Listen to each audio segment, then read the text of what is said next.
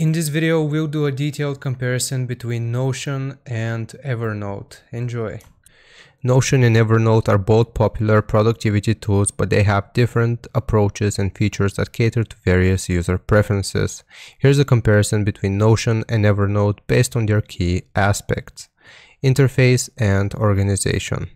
Notion offers a flexible block-based interface allowing users to create databases, notes, wikis, and more using different content blocks like text, images, databases, etc. It allows for nesting pages within pages, creating a structure that's customizable and visually appealing. Evernote focuses on a more traditional note-taking approach with notebooks, notes, and tags. It's organized in a structure of notebooks and notes within the ability with the ability to tag notes for easy categorization features and flexibility Notion is highly customizable with a wide range of templates and the ability to create interconnected databases allowing for complex project management, wikis, task lists, etc. It's known for its flexibility in adapting to different use cases. Evernote primarily focused on note-taking, offering structures like web clipping, OCR, optical character recognition, annotation tools, and cross-device syncing. It's known for its simplicity and ease of use in capturing and organizing notes. Collaboration Notion has strong emphasis on collaboration, allowing real-time editing, commenting, and sharing of pages and databases with team members. It's well suited for team projects and knowledge sharing.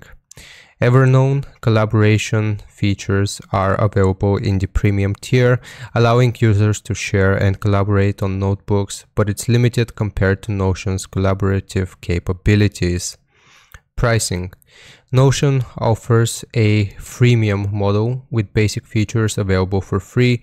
Advanced features and higher usage limits are available in paid plans. Evernote also allows a freemium model with basic features in the free version and additional features like increased storage, offline access, and better collaboration tools in premium plans.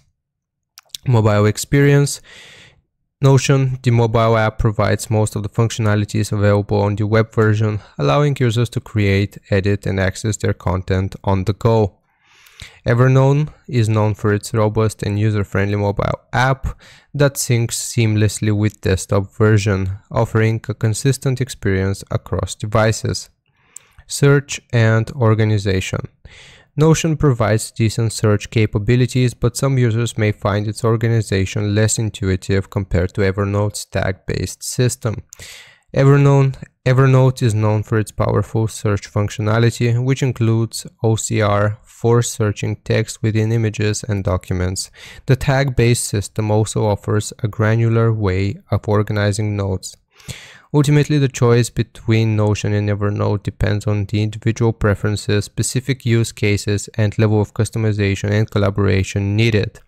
Notion excels in its flexibility and collaborative features, while Evernote Evernote is known for its simplicity and powerful search functionality in a more traditional note-taking environment. Hope this video helps you out with your choice. Leave a like and sub and I'll see you next time.